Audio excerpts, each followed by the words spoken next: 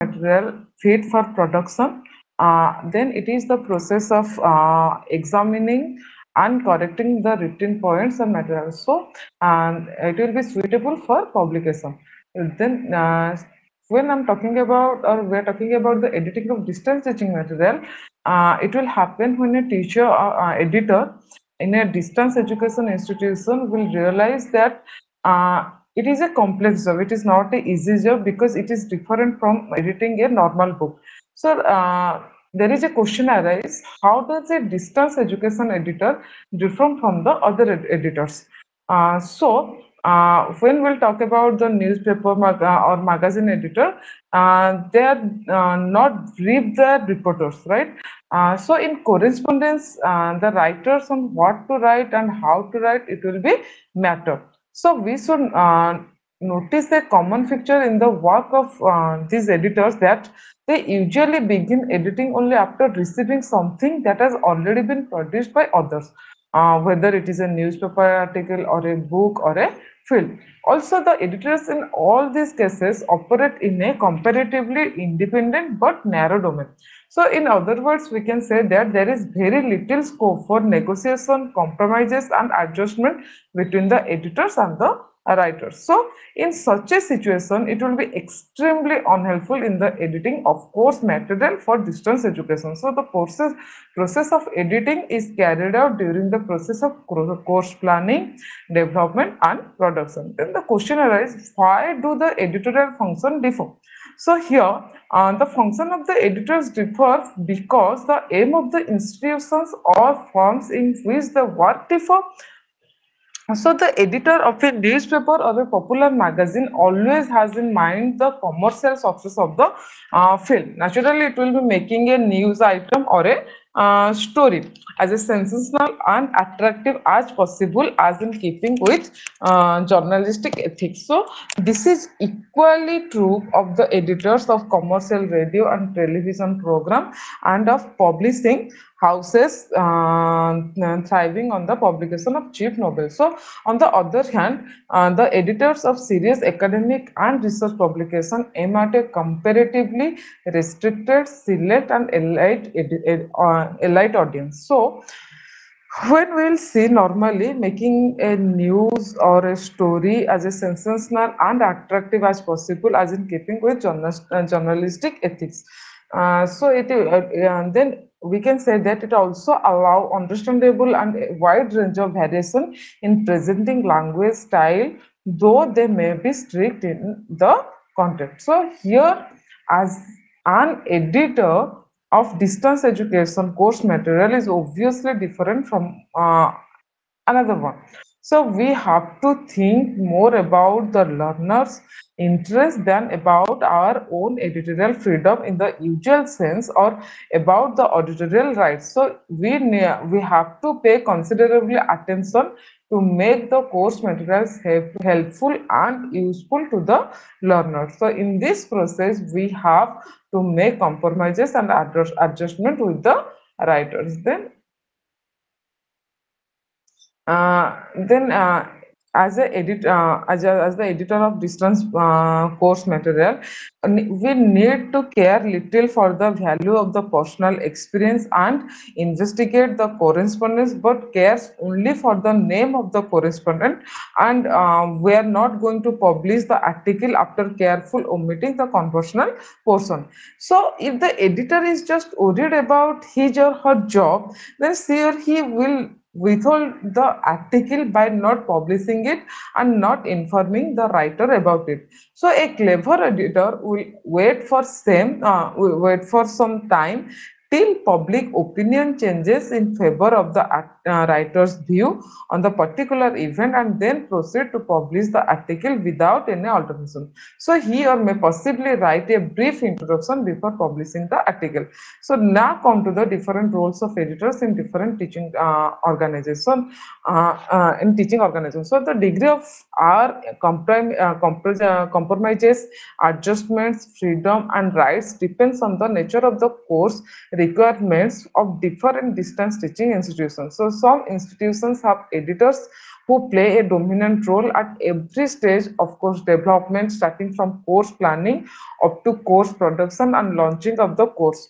Uh, then some of the other institutions have well established course teams where the editor functions as a coordinator of the various activities that constitute course development and production. So the open learning agency can work at the rest of the job. So there are some institutions which because of certain peculiar circumstances expect the editors to do content editing and linguistic correlation uh, corrections, uh, leaving course planning and course development to the academics of the division or school uh, concern.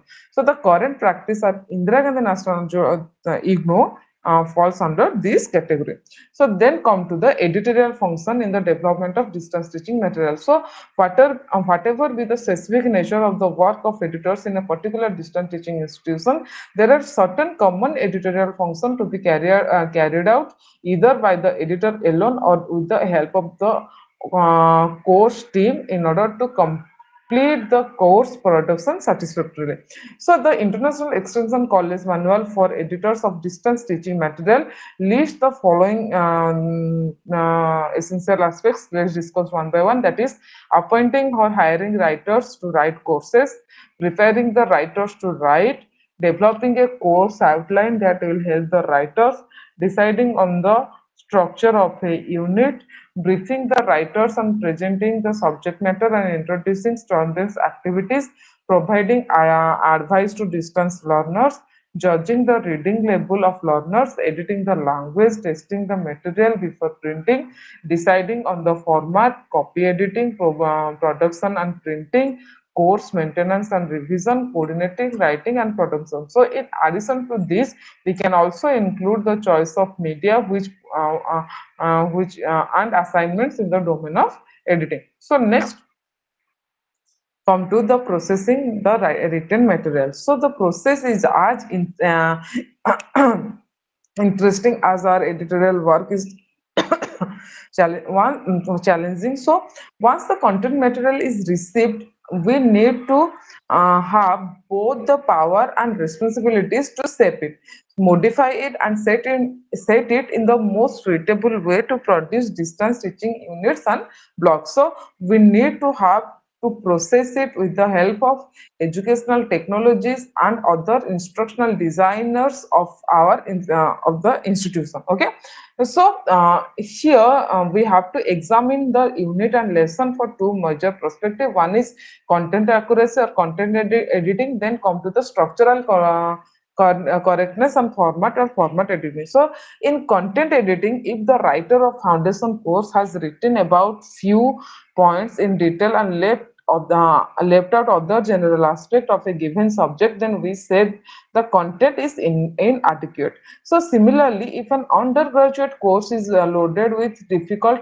points which are meant for postgraduates or uh, research students we may say that the content level is inappropriate so uh, now the question is how we can decide these issues. So ideally, uh, we should wait for the comments of the course items at our institute uh, or we can consult the course director or get the opinion and comments of other subject experts. So this means allowing more time a democratic process in arriving at a consensus. Uh, uh, so where there is not feasible, uh, then we can take a decision on this, assuming full responsibilities for whatever choices we make. So if the content is too heavy, try to make um, uh, we try to make it lighter.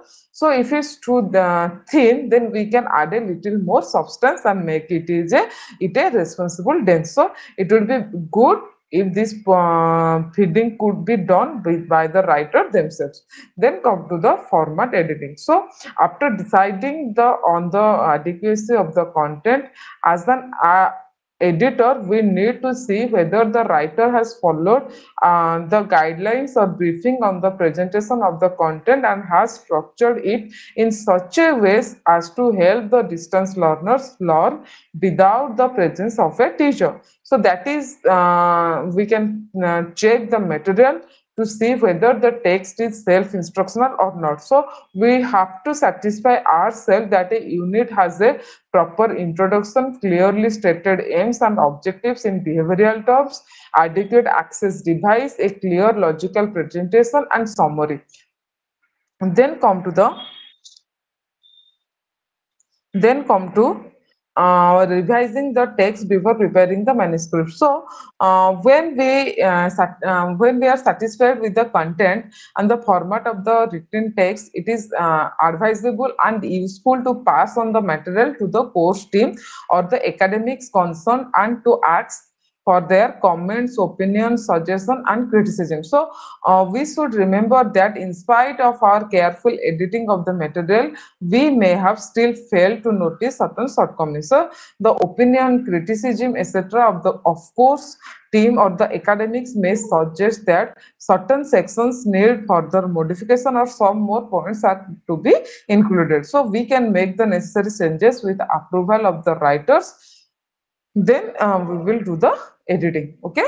Next come to the language editing. So uh, here the question uh, is uh, the um, the question of language in writing and editing distance teaching learning materials uh, is always significant. So if it is the language used that makes the self-learning material comprehensible or difficult, interesting or boring. So the language used should be simple and clear for effective communication with the learners. So language editing is done to um, vet vocabulary and sentence used in the material. So as an editor examines the simplicity and comprehensibility of the words used and make necessary changes so that learners will have easy access to the content. So what we need to do, we need to have simple language, effective communication and readability. So when I'm talking about readability, readability is a quality of text that grabs our attention and persuades our uh, persuades the learner to read further and comprehend the text without getting bored or tired. So, uh, then here there is a question how to read a self-learning text. So a self-learning text should persuade the learner to read it, participate it and interact uh, with it before it makes us think critically about it. To help accelerate the process, it is absolutely necessary to write in a language which communicates more directly. So this is in general we can say true of all good text and it is imperative in distance teaching to make communicative effective and direct. Next come to uh, uh, simple language in distance learning material. So question is why simple language? So by simple language, we mean, uh, here we mean that uh, language that is straightforward and relatively unambiguous meaning. So it should convey the message without uh, making us uh, rake our brains over the meaning of words and phrases. So if our lesson make me consult uh, the dictionary very often, then we are using too many unfamiliar words. So if the sentence force me to reread them very often, their structure must be difficult, twisted and complicated. And then come to the sentences. So construct uh, our sentences in such a way as to communicate directly as far as possible. Keep, um, we need to keep sentence short. Try to write simple sentences in place of complex sentences.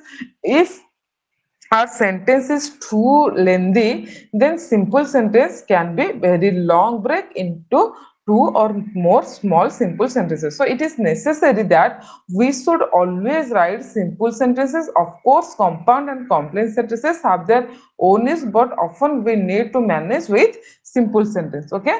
Then come to the vocabulary. So uh, when I'm pointing out the vocabulary part, here we need to notice that some of high sounding words and adjective in the above uh, uh, in the long sentence have been omitted in its written form. So vocabulary is an area where we can stick to some rules. Uh, we can never go far high sounding difficult words when you have easily understandable common words. So as far as possible, we need to use short words multi uh, multisyllabic words often uh, and here uh, multisyllabic words often make our writing difficult. So the style pompous and the message weak. Uh, so simple we can say that i came i saw and i conquered. So we can try this simple sentence. So uh, if you see the a sentence like a truck carrying eggs collide with a bus, all eggs were broken. So in this, uh, if you see the stick to the rule that you should use active verbs, uh, we can write a truck collide with a bus. So the bus broke all the uh, x. So we but we could want to write like this. So then come to the paragraph. So para uh, paragraphing in another uh, it is an another important feature in writing. Even if our sentences grammar vocabulary are simple and very intelligible lengthy passages may spoil the effect. So as far as possible um, we need to present our ideas in the gradual logical development each idea in one paragraph. So if we want to want to pack our paragraph with very um, very many very many ideas we may be uh, taxing the reader too much. So then come to the style. So there is no rule to teach uh, ourselves how to develop a style. So we must struggle hard to develop a style of our own. However, we can learn much from different style of various writers. Perhaps we may prefer one to another. Sometimes we may try to imitate the style of our favorite writer and we may be quite successful in that also. Okay. Uh, next come to the uh, evaluating the difficult level of language. So, print material besides audio and video program constitute a major part of the self-learning material, whether in the form of instructions, case studies, articles, technical reports, and or textbooks. Uh, so, of course, other compo components such as diagrams, map, chart, figure, table, uh, it also there. So psychologists, educational language experts have conducted extensive research to evaluate the language level suitable for a particular group of learners. So, but there is find, their findings and recommendations can only help us to limited extent when we write lessons for distance learners. So, however, we may keep in mind general guidelines to evaluate the level of difficulty of language.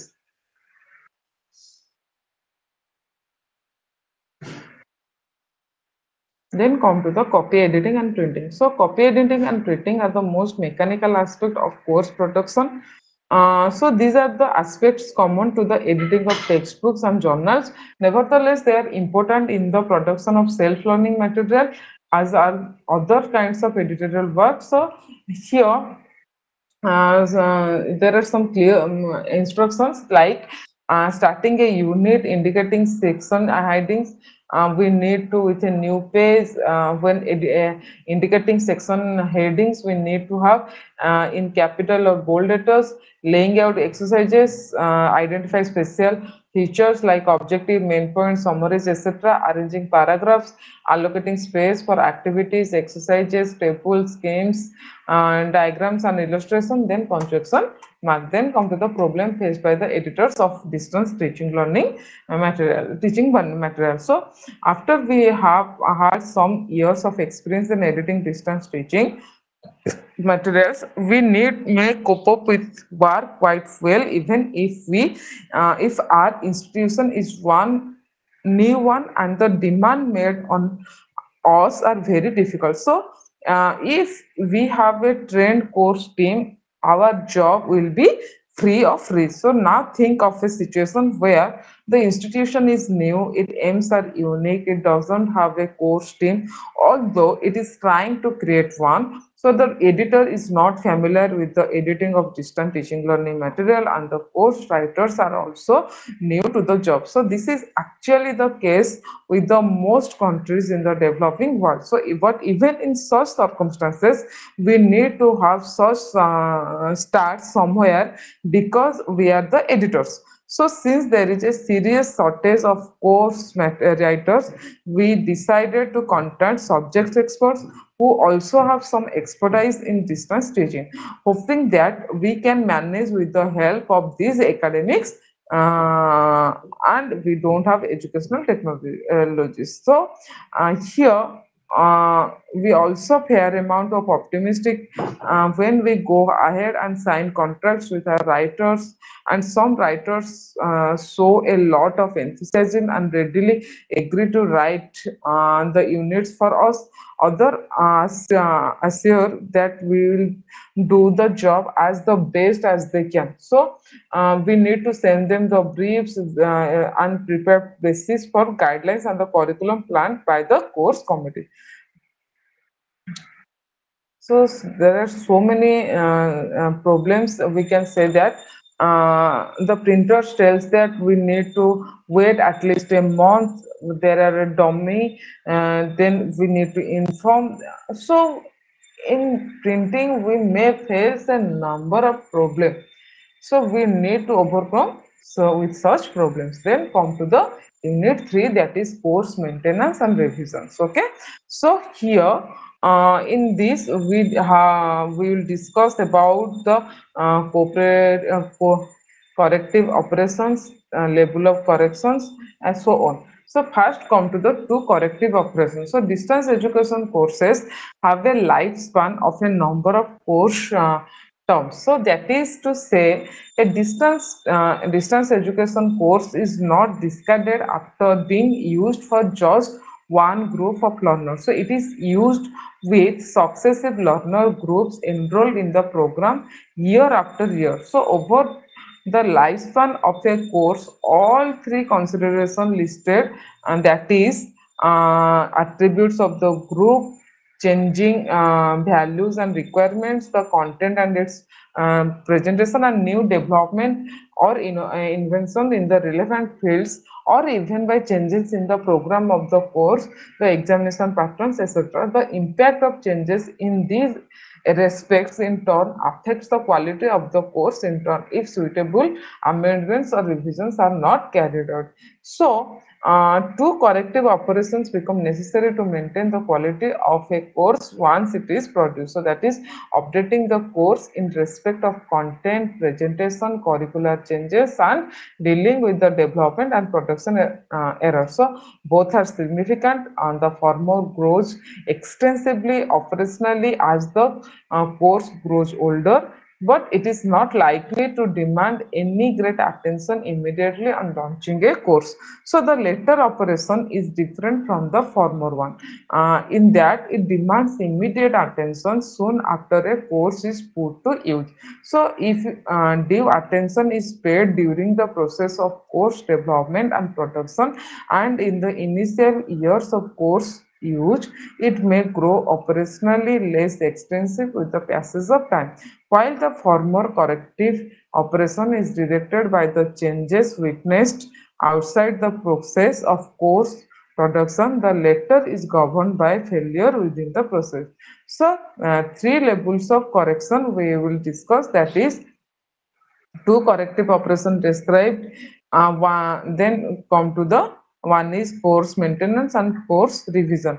At the course maintenance level, the possible activities are dealing with the errors that have escaped notice or appeared at the time of proofreading, then changing a word or phrase or a mark of punctuation here and there, reprinting a short section or two Two, if the errors therein are too many to list down or too complex to explain. So the amount of redrafting or reprinting of the course material at this level is kept to the minimum, not beyond a section containing substantial errors. So at the level of course revision, we are concerned with the almost similar details, but a moral liberal attitude towards uh, redrafting part of course material is not is allowed. So uh, parts or whole of units or blocks may be written if this is deemed necessary. So um, but uh, if an entire course needs to be rewritten it is advisable to withdraw it and replace it with a new course. Uh, in such cases of replacement the question uh, of the following the two lines operation which are applicable in the case of course maintenance. And then come to the uh, pre-operation activities collecting information about the changes required. So before we have discussed about the systematic feedback and from course on systematic collection of information. Now we will, uh, so the two means are not mutually exclusive but complete uh, completion of each other. Here, and we will discuss about the systematic feedback from course users. So, systematic feedback uh, can be obtained from the records of the learners, scores on assignment, the learner's assessment of the course material. So, assignment record, a periodic review learn uh, a periodic review of learners' scores and assignments can help us identify problems with the assignment. So we should ascertain the course difficulty. So difficulties emerging from assignments may have the following uh, discussion we are going to do. So the learner ability assumed for a while preparing the ass assignment may be much higher than the actual learner ability and uh, consequently, uh, the standard or level of performance ex expected may be higher than it can be in reality. So the objective or the task set for the assignment may not reflect the objective of the learning experience of the unit that proceeded. So the presentation of the assignment may be defective. As a consequence, uh, the learner gets a partially or totally different idea of the task required from, uh, from what the course writer intends to give. So the, then come to the learner's assessment of the course material. So the learner's assessment of the course material can help us in uh, process of improving the material. So this assessment can be carried out by presenting an assessment questionnaire with the with every assignment or unit and getting the learner's response to it. Uh, then come to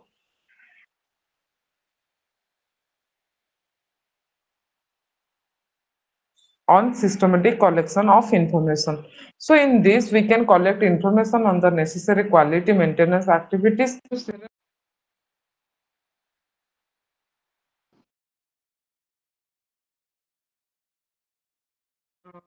then, uh, so these methods will also be useful and they need to be looked down upon simply because because uh, the process here uh, is unsystematic. So the institution can send a course comments page or a difficulty sheet with every course book and ask the learners to return this with their remarks. So it can invite the learners to write about the difficulties or problems they face. So it can also ask them to point out the errors they notice. So learners may hesitate to write in the beginning, but they ought to be encouraged to communicate. Even an angry letter from a dissatisfied learner, some useful hints uh, as how to maintain improved course quality.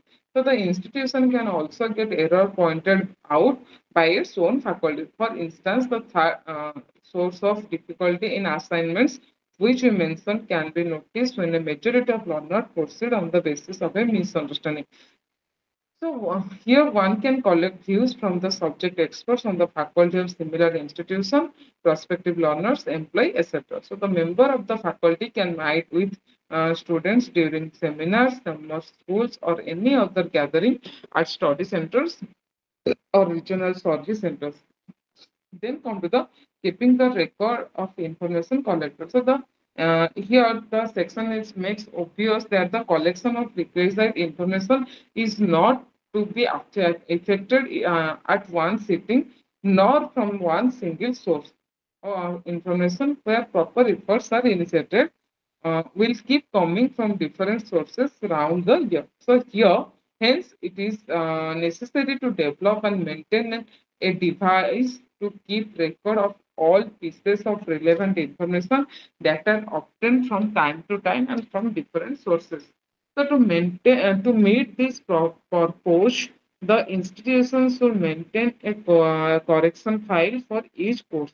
So the file may uh, may be opened as soon as the course is printed. So all the information pertaining uh, to the correction needed and the difficulties experienced should be placed in this file.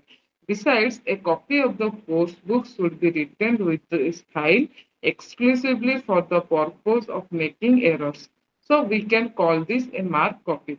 So the marking should preferably to be made in some brightly colored ink so as to be noticeable. observations helpful to update the course with regard to the post-publication development in the area concerned. Then come to the course material operation. Here we will discuss about the deciding on the correction to make. So course maintenance involves a series of activities which are to um, plan. Uh, when um, the error data are collected, uh, then we must be decide in respect of each correction note whether it is to be dealt with urgently or whether it can wait. In other words, we need to decide or we should decide whether leaving a correction unattended will seriously affect the understanding of a learner.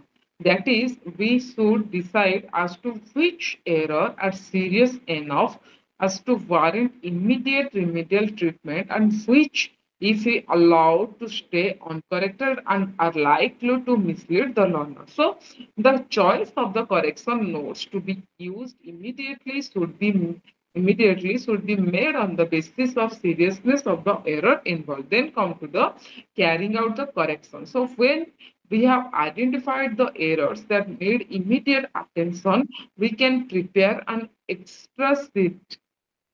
We can uh, prepare an extra sheet which must contain an index column, uh, precisely the context of error occurrence, then error column where a, a phrase, word or line is given with error component clearly mark a correction column. Next come to the rewriting parts. So in rewriting parts, of course, or short um, passes, there are four to five lines may be undertaken when the parts either are found to suffer from substantial error. So rewriting part, of course, is admissible for yet another purpose, namely that of objecting, but it should not attempted just because we find a part of our courses slightly unsatisfactorily.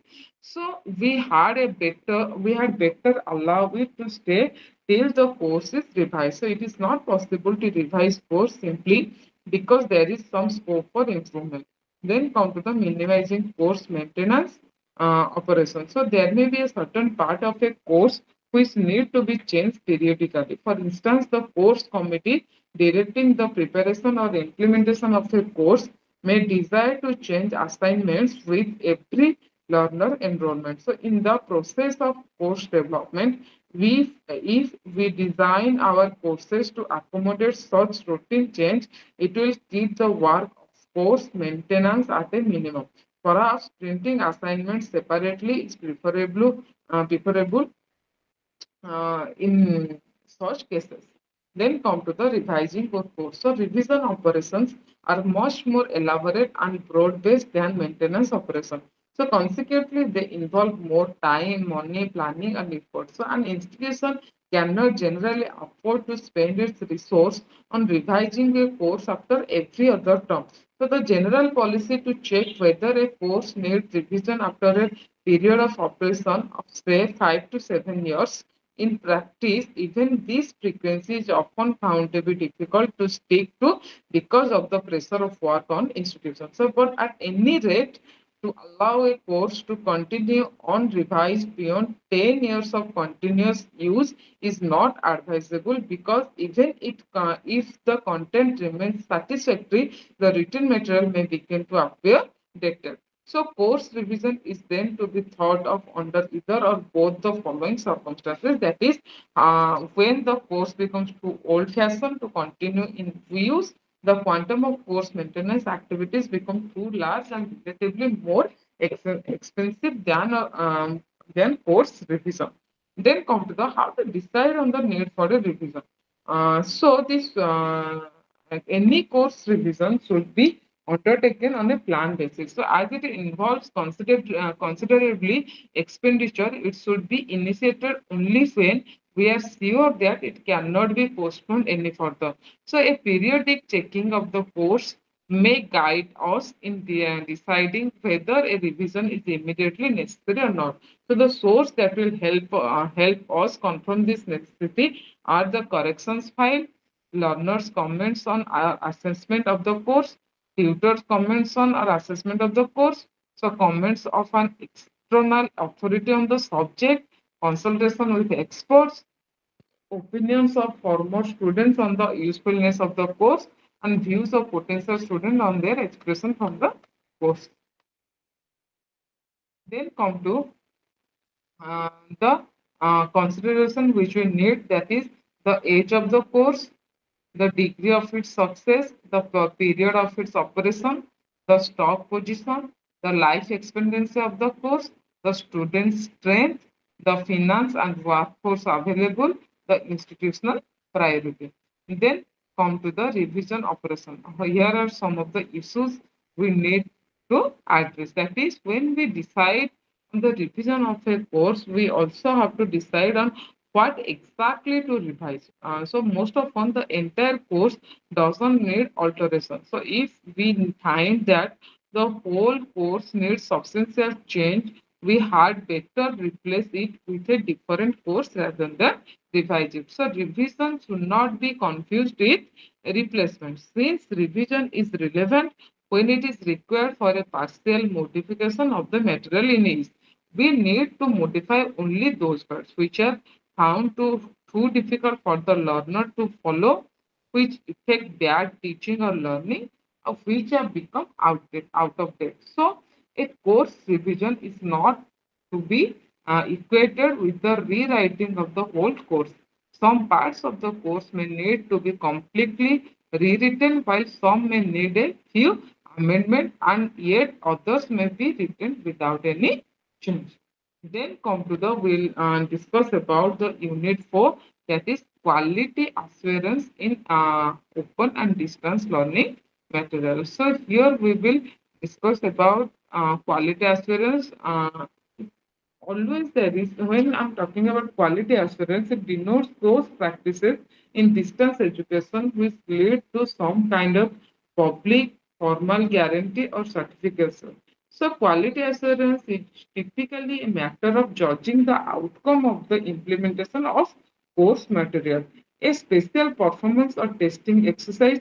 So in the domain of distance education, quality assurance includes the course approval mechanism, teamwork for preparing materials, processing of designing the material, and the review of the material which are subject to scrutiny, uh, scrutiny either in the form of student questionnaires or by the review of external experts. So the findings of the formal procedure are usually publicly announced or at least made available to the practitioners. So in this way, quality assurance is an ongoing process and is public and formal in its nature. So in general, quality assurance is defined as the process whereby standards are specified for a uh, product or service and steps are taken to ensure that these standards are made substantially.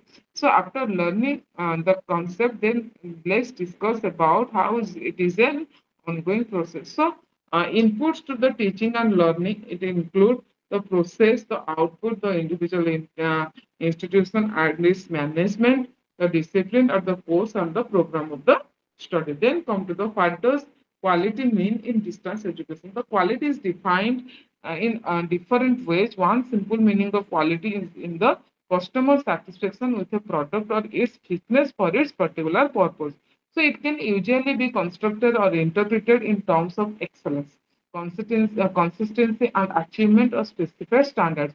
So in this context, we will be discussing the definition of quality being used with regard to the product within the distance education uh, institution, which is a producer of a large number of self-learning material and service provider. It is also a producer of programs courses related products such as units, blocks, books, videos, CD-ROMs, etc. So which have to adhere to specified quality measures and of a service, that is the provision of higher education. So this provision covers counseling, tutorials, assessments, and degree of diploma or certificate rewards, hours. And the distance education system needs to know and to be able to measure the quality of its products and service uh, services. In a simple way, we can say that the quality is not synonymous with excellence. It indicates the management of a continuous process aimed at bridging the gap between the uh, expected effect and the actual effect. So, however, the criteria for a quality product and a quality service are distinctly different in their objectives because service is often intangible and cannot be sold. And it is uh, usually consumed at the time of production. So, uh, it can be quality learning material can understood in various ways, such as in a superficial sense as a glossy package which does not offer any guarantee of the usefulness of the product. Then the highly engineered approach, the notion of quality is about process which considers uh, what we did to get to this finished product. Then the third concept of quality is that referred to if we are told that the material is fit for its purpose. So with uh, regard to the term fitness of the purpose, we can say. So the learning uh, material will definitely work when put to the test and the that then that will stand up to a cost benefit analysis. Then question is how is quality measured? So quality assurance measures are seen as quality and security enhancing measures. So today distance education has developed multi uh, typologies according to the specific needs and aspiration of learners. It aims to serve as an alternative mode of educational delivery. It is now evident that points of interrogation on quality assurance addressed to distance education course are equally applicable to traditional measures of quality assurance, such as quality of curriculum design, instructional material assessment, customer satisfaction with the products and services, independent external and technical reviews, evaluation and validation, etc. Then come to the benchmarking of quality assurance in learning materials. So uh, when I'm talking about the benchmarking of quality assurance learning materials, it said that a student-centered approach to teaching or learning which encourages learner independence through instructional design techniques embedded in course materials, then preparation and manufacture of course packages which are open to peer or public scrutiny in relation to their educational effectiveness, intellectual rigor, and production values, then commitment to maximizing interaction between teacher and learner and among learners through the use of range of communication media, then implementation of organization of structure, management processes, and financial and administrative systems geared to the development of aims and imperatives of post development, then incorporation of evaluation in all aspects of distance education programs or course or units.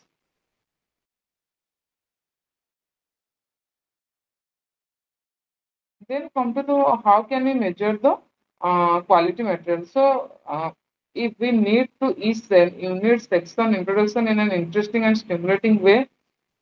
In introduction, we'll also see add these essential components, then diagram, chart, table, graph, illustration. Then we need to see the content material, then summary or review.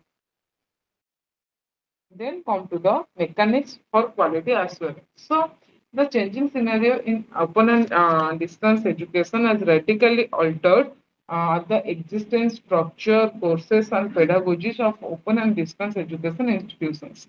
So, open campus learning is an approach to education in which the interaction between the teacher and learner takes place at a distance. So, the open and distance learning institution believe that its continuing commitments to access the equity, learner independence, and professional relevance demand a flexible interactive approach to curriculum design and modes of teaching.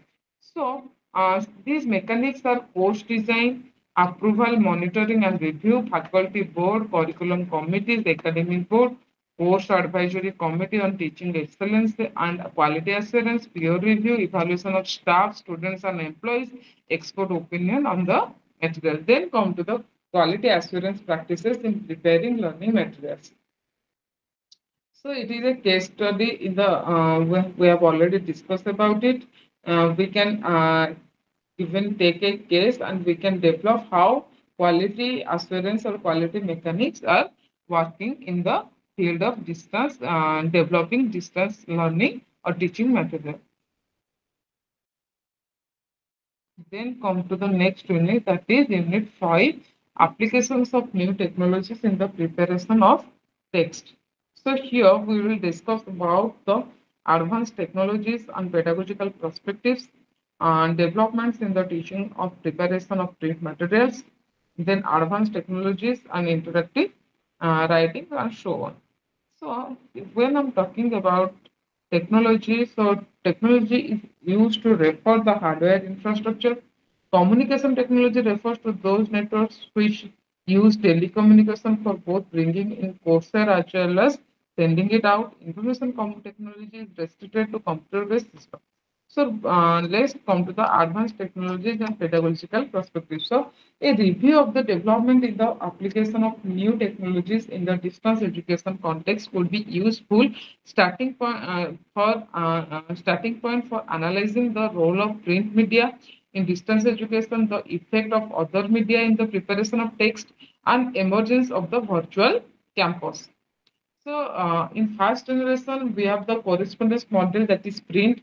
In second generation, we have the multimedia model that is print, audio tape, video tape, computer-based learning, and interactive video. Uh, in third generation, we have the telelearning model that is audio teleconferencing, video teleconferencing, audiographic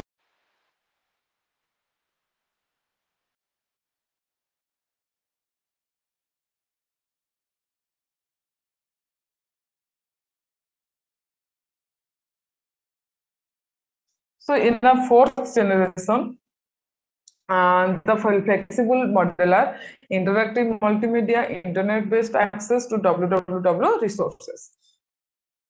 So uh, we can see clearly a picture how we progress from print to now in online teaching right now.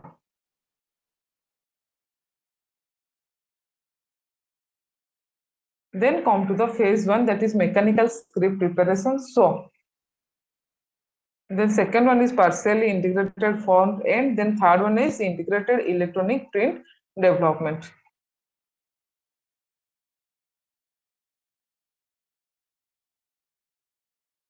Then come to the advanced technologies and interactive writing. So interactivity is the property of any medium that responds dynamically to use control. So we will here discuss about the concept of interactivity uh, in association with technology. For example, can, we have let's consider that an everyday device and examine whether or not it is interactive and if so, how far. So the telephone is a classic interactive device uh, we can punch in a number, it establishes a connection to another telephone correspond to the number and the telephone on the other end starts ringing. So it responds to uh, user input because it locates and uh, engages another device to which it can communicate. So one meaning uh, of interactive refers to action that must bring about a response to the user's control. So this condition is met only when a user on the other end picks up telephone to open a communication channel and starts uh, speaking. So uh, when the oral communication is initiated, the action becomes dynamic because the user responds dynamically to the communication from the other end and vice versa. So a telephone fits our definition of an interactive medium only when communication is actually established. Then come to the interactive. So interactive is the provision for the learner to respond in some way to the teaching material and obtain comments or feedback on this response. Uh, so we have stated that interactive is regarded as especially important in teaching and distance learning when where the teacher and student are separated by distance so some uh, form of meditating technology uh, then uh, whether printed material, audio and video cassettes, radio, television, computer or teleconferencing are essential to minimize problems of communication. So students on distance learning courses generally have limited opportunities for interaction with their tutors or other peer learners and the learning materials whether in print or electronic form have to take on some of these roles. So distance learners interact with the self-learning materials simply by reading them, listening to them or watching them and thinking about for the say. Then come to the why is interaction important. So uh, um, because uh, an interactive approach can make up for the lack of other kinds of interaction and reduce the learner's sense of isolation Then an interactive approach can personalize distance learning material and bring the writer closer to the learner. Then an interactive approach is likely, uh, likely to stimulate deep rather than surface learning. Then interaction uh, is uh, essential if print materials are to meet the requirement for a learning dialogue. Then interaction can uh, encourage active learning and ensure that learning try things out of out for themselves. Then an interactive approach can help students to process new ideas and link them with their existing experience. So it will be help to anchor learning. So how do we make material interactive?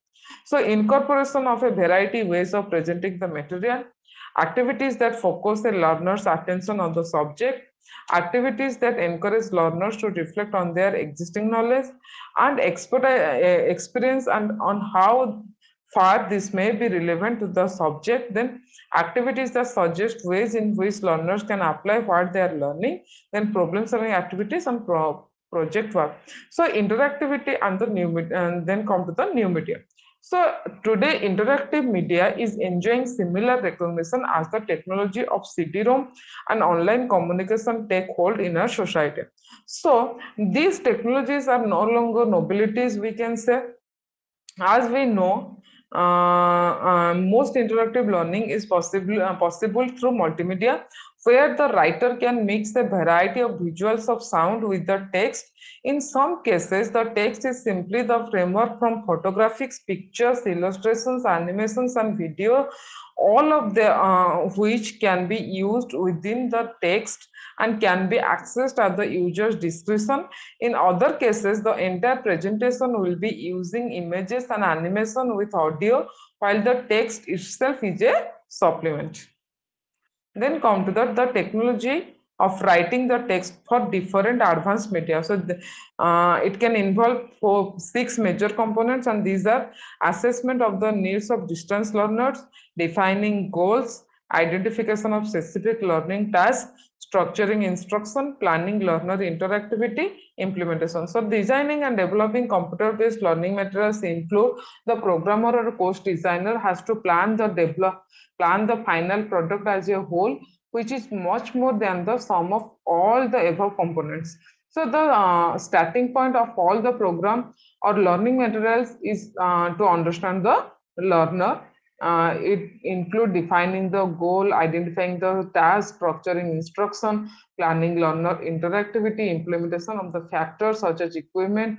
And then uh, we also include and the compatibility with the machines, basic knowledge of instructional design and evaluation, basic knowledge of authoring systems and tools. So developing the text for computer-based learning material, uh, we will discuss that is a, uh, we can say it is a typeface uh, family of graphic character that usually includes many type of sizes and styles.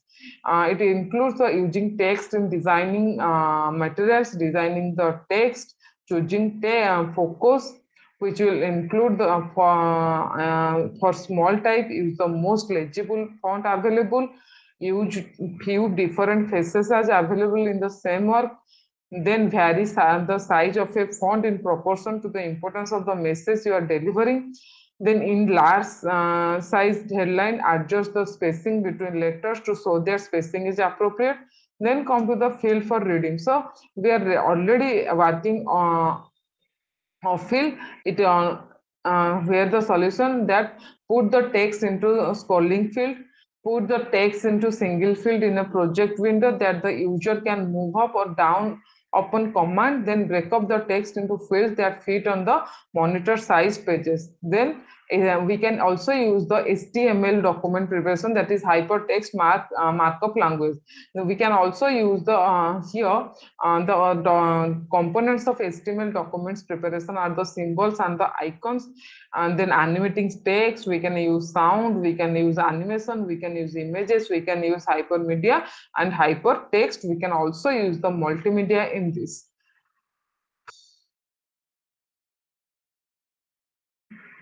Then come to the what are the strengths and weakness of hypermedia. So the strengths are the highly motiv it is highly motivating, allows an in uh, in the study, caters to individual difference.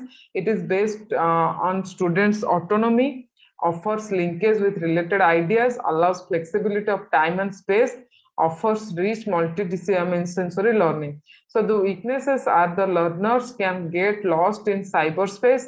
The learner is expected to be a computer expert. Students feedback is not invited. It is time consuming. Then come to the uh, that is desktop and desktop publishing.